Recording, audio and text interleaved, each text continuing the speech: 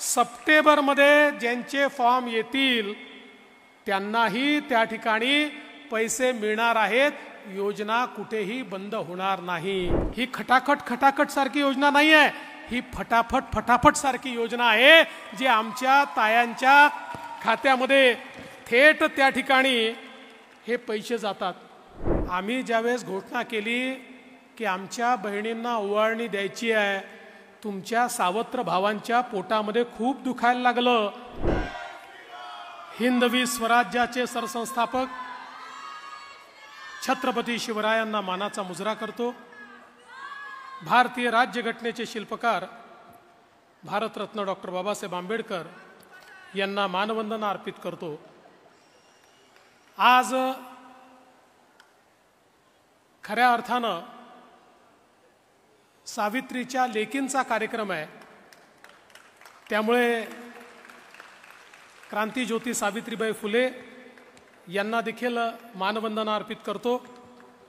मंचावर उपस्थित असलेले महाराष्ट्राचे लोकप्रिय आणि धडाडीचे मुख्यमंत्री एकनाथराव शिंदेजी आमचे सहकारी उपमुख्यमंत्री आणि जे थेट बोलण्याकरता प्रसिद्ध आहेत असे आमचे अजितदादा पवार केंद्रीय राज्यमंत्री मुरलीधर मोहोळजी आमचे सहकारी दिलीप वळसे पाटीलजी चंद्रकांतदादा पाटीलजी नीलमताई गोरे ज्यांच्या विभागाने अतिशय यशस्वी असा हा कार्यक्रम केला त्या आदितीताई तटकरे मेधाताई कुलकर्णी श्रीरंगप्पा बारणे उमाताई खापरे योगेशजी टिळेकर माधुरीताई मिसार रामभाऊ शिंदे प्रसादजी लाड भीमराव अण्णा तापकीर महेशदादा लांडगे राहुलदादा कुल दिलीपराव मोहिते पाटील त्याचप्रमाणे दिलीपरावजी मोहिते त्याचप्रमाणे विजयरावजी शिवतरे सुनीलजी शेळके रुपालीताई चाकरकण चा चाकणकर सिद्धार्थजी शिरोळे सुनीलजी कांबळे या ठिकाणी मंचावर उपस्थित अश्विनीताई जगताप त्याचप्रमाणे श्री अनुप कुमार यादव चंद्रकांत पलकुंडवार विनयकुमार चौबे सुहास दिवसे राजेंद्र भोसले शेखर सिंग प्रशांत नारनवरे राजेश देशमुख योगेश मसे स्वप्नील आपल्या सर्वांना ज्यांनी भारताला मेडल मिळवून दिलं ते स्वप्नील कुसळे. या ठिकाणी उपस्थित सर्व मान्यवर आणि उपस्थित माझ्या सर्व लाडक्या बहिणी आणि माझ्या सर्व भावांनो आज हा अतिशय आनंदाचा दिवस आहे की मुख्यमंत्री माझी लाडकी बहीण या योजनेची औपचारिक सुरुवात ही पुणे इथे होते कोणीतरी मला विचारलं की सुरुवात पुण्यापासनं का? सुरुवात पुण्यापासनं याकरता की ज्यावेळी परकीयांचं आक्रमण आमच्यावर होत होतं आमचा महाराष्ट्र बेचिराक होत होता त्यावेळी आई जिजाऊंनी याच पुण्यामध्ये सोन्याचा नांगर चालवून स्वराज्याची संकल्पना ही शिवरायांना दिली होती. याच पुण्यामध्ये ज्यावेळी आमच्या महिलांना शिक्षणाचा अधिकार नाकारला गेला त्यावेळी महात्मा ज्योतिबा फुले आणि सावित्रीबाई फुलेंनी सांगितलं हा अधिकार महिलांना मिळाला पाहिजे आणि महिलांना अधिकार देण्याकरता याच पुण्यापासनं खऱ्या अर्थानं त्यांनी सुरुवात केली. आणि आपल्याला कल्पना आहे की मुलींसाठीची पहिली शाळा याच पुण्यामध्ये सुरू झाली आणि म्हणूनच मला असं वाटतं की पुणं हे सर्वाधिक उपयुक्त अशा प्रकारचं ठिकाण आहे. केवळ राजकारण नाही तर समाजकारणाची भूमी कुठली असेल परिवर्तनाची भूमी कुठली असेल तर ते हे पुणं आहे. आणि म्हणून पुण्यापासनं सुरुवात करायची. आणि आपलं सरकार तर तुम्हाला माहिती आहे आपलं सरकार जे आहे ते देना बँक सरकार आहे. ते देत असतं. लेना बँकवालं सरकार नाही आहे मागच्या काळामध्ये आपण बघितलं वसुली करणारं सरकार होतं. आता वसुली करणारं नाही बहिणींना देणारं सरकार या ठिकाणी आलेलं आहे. आणि म्हणून आज आपण ठरवलं की इथपासनं सुरुवात पुण्यापासनं करायची. पण पुण्यापासनं सुरुवात जरी औपचारिक आपण केली तरी माननीय मुख्यमंत्र्यांनी सांगितलं पैसे क्रेडिट करणं सुरू करा. कारण ज्यावेळी आपण कार्यक्रम घेऊ त्यावेळी बहिणींना रिकाम्या हाताने ठेवू नका आणि सांगताना आनंद वाटतो. एक कोटी तीन लाख महिलांच्या खात्यामध्ये तीन हजार रुपये प्रत्येकी पोचलेले आहेत. तुमच्या खात्यात आले आहेत का? ज्यांच्या आल्यात हात वर करा. हात वर करा ज्यांच्या हातात आले आहेत. बघा या सगळ्या ताईंच्या हाता खात्यामध्ये पैसे आले आहेत. आता अगदी थोड्याशा राहिल्या आहेत. ज्यांच्या खात्यात यायच्यात काळजी करू नका. प्रत्येकाच्या खात्यात पैसे आल्याशिवाय योजना बंद होणार नाही हा आमचा निर्धार आहे. आता तर कुठे? आम्ही एकतीस जुलैपर्यंतचे फॉर्म्स याचे पैसे जमा केले आहेत. आता एकतीस ऑगस्टपर्यंतचे जे फॉर्म्स आहेत त्याची छाननी जेव्हा होईल त्यांच्याही खात्यामध्ये जुलै आणि ऑगस्टचे पैसे आणि सप्टेंबरचे पैसे एकत्रितपणे आपण त्या ठिकाणी टाकू आणि त्याही नंतर सप्टेंबरमध्ये ज्यांचे फॉर्म येतील त्यांनाही त्या ठिकाणी पैसे मिळणार आहेत. योजना कुठेही बंद होणार नाही. ही खटाखट खटाखट सारखी योजना नाही आहे ही फटाफट फटाफट सारखी योजना आहे जी आमच्या तायांच्या खात्यामध्ये थेट त्या ठिकाणी हे पैसे जातात. मला तुम्हाला सांगितलं पाहिजे आम्ही ज्यावेळेस घोषणा केली की आमच्या बहिणींना ओवाळणी द्यायची आहे तुमच्या सावत्र भावांच्या पोटामध्ये खूप दुखायला लागलं आणि सावत्र भावांनी खूप प्रयत्न केला योजना होऊ नये म्हणून. मग पहिल्यांदा कोर्टात गेले.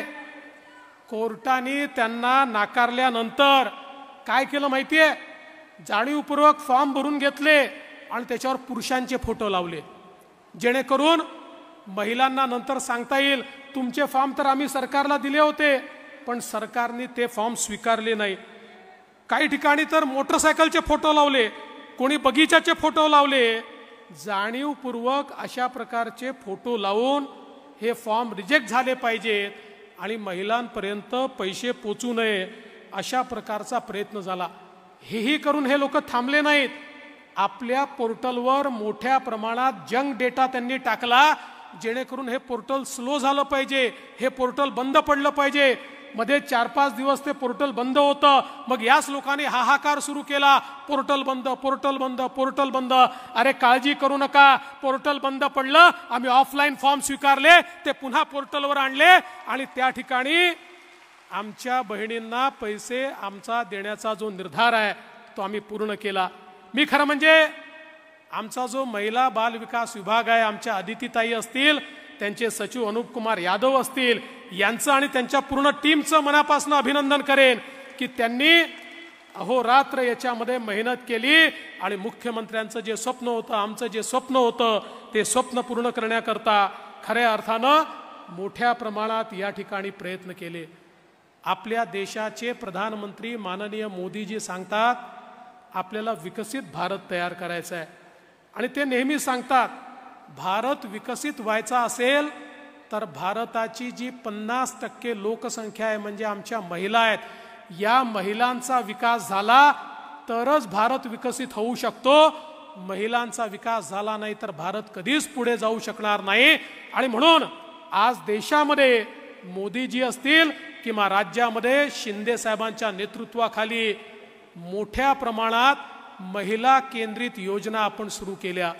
मग लखपती दिदीसारखी योजना असेल आपली लेख लाडकीसारखी योजना असेल की ज्या योजनेमध्ये घरी जर मुलगी जन्माला आली जन्माला आल्याबरोबर पाच हजार रुपये पहिल्या वर्गात गेली तर पाच हजार रुपये सातव्या वर्गात गेली तर सहा हजार रुपये दहाव्या वर्गात पैसे अकराव्या वर्गात पैसे असं करत एक लाख रुपये त्या मुलीला त्या ठिकाणी देण्याची आपली योजना असेल किंवा खऱ्या अर्थानं आमच्या लाडक्या बहिणींना पंधराशे रुपये देण्याची योजना असेल फी माफीची योजना असेल रोजगाराची योजना असेल या सगळ्या योजनांच्या पाठीशी काय आहे? एकच उद्देश आहे की या राज्याच्या अर्थव्यवस्थेच्या मुख्य धारेमध्ये आमच्या महिलांना पूर्ण भागीदारी मिळाली पाहिजे. ज्या महिला समर्थपणे घरी चालवतात ज्या महिला समर्थपणे आपल्या मुलांनाही वाढवतात ज्या महिला बाहेर शेतीवरही काम करतात ज्या महिला पडेल ते काम करतात ज्या महिला सर्व प्रकारच्या नोकऱ्या करतात आणि तरी देखील आपला संसार सांभाळतात अशा महिलांना जर आम्ही अर्थव्यवस्थेच्या केंद्रात आणलं तर या महाराष्ट्राची अर्थव्यवस्था इतक्या वेगानं वाढेल की कोणीही आपल्याला थांबवू शकणार नाही. म्हणून हे महिला आर्थिक विकास धोरण आज आपण या ठिकाणी सुरू केलेलं आहे. आणि एका गोष्टीकरता माननीय मोदीजींना मला धन्यवाद द्यायचे आहेत. आपण बघा पूर्वी सरकारी योजना आणली की ती योजना दलालांची योजना व्हायची. कोणीतरी तुमच्या करता ठेवलेले पैसे मग यातनं दहा टक्के मला दे पंधरा टक्के मला दे पण मोदीजींनी डीबीटीची सोय उपलब्ध करून दिली. आधार बँक अकाउंट आणि मोबाईल असा त्रिशूळ तयार झालाय की थेट आमचे मुख्यमंत्री मोदय बटन दाबतात आणि तुमच्या खात्यामध्ये पैसे जातात. आता कोणीही दलालीमध्ये खाऊ शकत नाही. अरे एक कोटी महिलांना त्यांच्या खात्यात पैसे गेल्यानंतर आमची एकही बहीण हे म्हणणार नाही की कोणाला आम्हाला एक पैसा याच्याकरता द्यावा लागला. सगळ्यांच्या खात्यात थेट पैसे गेले. दलालांचा धंदा आम्ही बंद केलेला आहे. आणि थेट तुमचे भाऊ तुमच्याकरता तुमच्या खात्यामध्ये पैसे या ठिकाणी देत आहेत ही गोष्ट देखील खरी आहे.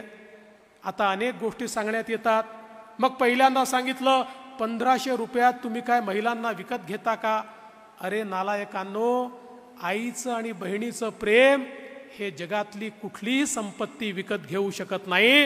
हे प्रेम अनमोल आहे हे बहुमोल आहे हे जे प्रेम आहे हे ईश्वराने असं तयार केलं आहे की या प्रेमापासनं कोणीही वंचित राहत नाही आणि या प्रेमाला कोणीही खरेदी करू शकत नाही. ही तर खऱ्या अर्थानं एक प्रकारे आमच्या माता भगिनींच्या प्रती आमची कृतज्ञता आहे की तुम्ही आमचा जो सांभाळ करता तुमचं जे प्रेम आहे तुमचा जो आशीर्वाद आहे तुमची जी साथ आहे त्यामुळे आम्हाला यश मिळतं. आणि म्हणून या यशाच्या प्रती एक प्रकारची आपली ओवाळणी म्हणून हा कार्यक्रम आम्ही घेतो आहे पण जे लोक सोन्याचा चमचा तोंडामध्ये घेऊन जन्माला आले त्यांना पंधराशे रुपयाचं मोल कधीच समजू शकत नाही. हॉटेलमध्ये गेल्यानंतर जे दोन दोन हजार रुपयाची टीप देतात कारण खिशामध्ये खूप कमवलेला माल आहे त्यांना पंधराशे रुपयाचं मोल समजू शकत नाही. पण महिन्याच्या शेवटी आमची जी भगिनी त्या ठिकाणी महिन्याच्या खर्चाचा मेळ घालता घालता आपला घाम गाळते आणि विचार करते आता या महिन्यात पोराचं करायचं की मुलीचं करायचं स्वतःचा तर कधी विचारच करत नाही. त्या माझ्या मायमाऊलीला पंधराशे रुपये काय असतात त्याचं मोल काय असतं हे निश्चितपणे समजतं. आणि म्हणूनच आमच्या या कोटावधी मायमाऊली आम्हाला आशीर्वाद देत आहेत तुम्ही कितीही या ठिकाणी आम्हाला दूषणं दिली तरी देखील जोपर्यंत माय माऊलीचा आशीर्वाद बहिणींचा आशीर्वाद आमच्या पाठीशी आहे आमचं कोणी काही वाकडं करू शकत नाही. पण अजित दादा म्हणाले खरं आहे मी आपल्याला सांगू इच्छितो ज्यावेळी मी मुख्यमंत्री होतो आणि मुख्यमंत्री पदावर असताना अनेक योजना सुरू केल्या आणि मुख्यमंत्री पदावरनं मी गेल्यानंतर ज्यावेळेस महाविकास आघाडीचं सरकार आलं त्या सरकारने काय केलं? सगळ्यात पहिल्यांदा मी सुरू केलेल्या सगळ्या योजना सगळ्या बंद केल्या. एकही योजना त्यांनी सुरू ठेवली नाही. आज माननीय मुख्यमंत्र्यांच्या नेतृत्वात इतक्या चांगल्या योजना आपण सुरू केलेल्या आहेत. पण बंधू भगिनींनो उद्याच्या काळामध्ये आपलं काही चुकलं काही चुकीमुळे जर विपरीत अशा प्रकारचे परिणाम आले सगळ्यात पहिलं काम काय होणार? सगळ्यात पहिलं काम हे करतील मुख्यमंत्री एकनाथराव शिंदेजींच्या नेतृत्वात सुरू झालेल्या सगळ्या योजना हे बंद करतील. एकही योजना हे चालू देणार नाहीत. आणि दुसरं मी तुम्हाला सांगतो की आज यांनी पहिल्यांदा सांगितलं दोन तीन महिने पैसे मिळतील मग पैसे मिळणार नाही. पण मला सांगताना आनंद वाटतो आमच्या अजितदादांनी अर्थसंकल्पामध्ये मार्चपर्यंतची पूर्ण व्यवस्था करून ठेवलेली आहे. आणि तुम्ही आम्हाला पुन्हा आशीर्वाद दिला की पुन्हा पुढच्या मार्चपर्यंत पंचवीसपर्यंतची सव्वीसपर्यंतची व्यवस्था मग सत्तावीसपर्यंतची व्यवस्था. खरं म्हणजे आपल्याला बजेटमध्ये एका वर्षाचेच पैसे ठेवता येतात. म्हणून एका वर्षाचे ठेवले. जर बजेटमध्ये पाच वर्षाचे ठेवता आले असते ना तर सगळे विषय बाजूला ठेवून पहिल्यांदा लाडक्या बहिणींकरता पाच वर्षाचे पैसे आपण त्या ठिकाणी ठेवले असते. आणि म्हणून मी आपल्याला एवढंच सांगतो आम्ही प्रामाणिक लोक आहोत. आज तुम्ही बघा ज्या राज्यांमध्ये आपलं सरकार आहे तिथे योजना चालू आहेत. कर्नाटकमध्ये अशी योजना घोषित केली आज ती योजना त्यांनी बंद केली. त्यांनी तेलंगणामध्ये योजना घोषित केली. तेलंगणात योजना सुरूच झाली नाही. पण मला सांगताना आनंद वाटतो. आमच्या मामाजींनी शिवराजजींनी मध्य प्रदेशला योजना सुरू केली. नियमित चाललेली आहे. छत्तीसगडला सुरू केली. नियमित चाललेली आहे. आणि आमच्या मुख्यमंत्र्यांनी महाराष्ट्रात घोषणा केली ही पण योजना नियमितच चालेल. कोणीही ही योजना बंद करू शकणार नाही. हा विश्वास या निमित्ताने मी तुम्हाला देऊ इच्छितो. आणि म्हणून आज एक प्रकारे आपण पाहतोय देशामध्ये पहिल्यांदा महिला राष्ट्रपती आम्हाला मिळालेले आहेत. आज भारतामध्ये दहा टक्केचं जास्तीचं प्रतिनिधित्व हे स्थानिक स्वराज्य संस्थांमध्ये आमच्या महिलांना मिळालेलं आहे. आज प्रधानमंत्री मुद्रा योजनेच्या अंतर्गत ज्यांना कर्ज प्राप्त झालं त्यातल्या त्रेसष्ट टक्के महिला आहेत. आज जर आपण बघितलं तर विज्ञान आणि तंत्रज्ञानामध्ये कधी नव्हे ते त्रेचाळीस टक्के आमच्या मुली त्या ठिकाणी शिकतायत. आणि आज आपण जर बघितलं तर महिला बचत गटाच्या माध्यमातनं सर्वात मोठं जे एक आंदोलन बचत गटाचं सुरू झालं आहे तेही या महाराष्ट्रामध्ये आपण सगळे रेकॉर्ड या ठिकाणी तोडलेले आहेत. आणि त्रेसष्ट लाख बचत गट गटाच्या माध्यमातनं आमच्या महिलांना काम देण्याची सुरुवात आपण या ठिकाणी केलेली आहे.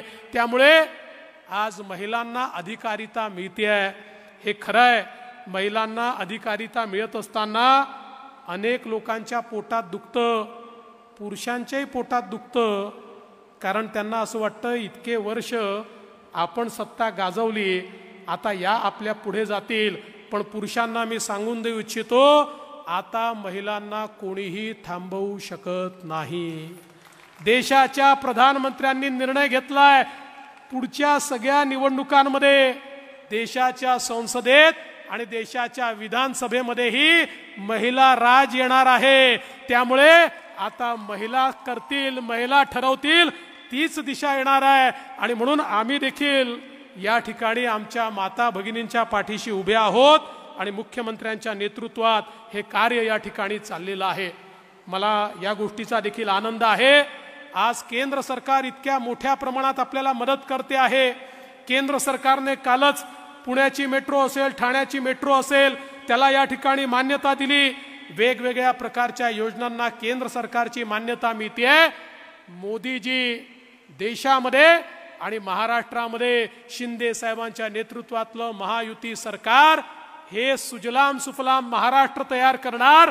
आमच्या महिलांना अधिकार देणार आणि महिलांना त्या ठिकाणी खऱ्या अर्थानं सन्मान देऊन महिलांचं सन्मान करणारं महाराष्ट्र राज्य आम्ही घडवून दाखवू एवढाच विश्वास या निमित्ताने व्यक्त करतो. आणि सर्व आमच्या माता भगिनींच्या प्रती या ठिकाणी मी खऱ्या अर्थानं अभिवादन करून माझं बोलणं संपवतो. जय हिंद जय महाराष्ट्र जय भारत माता.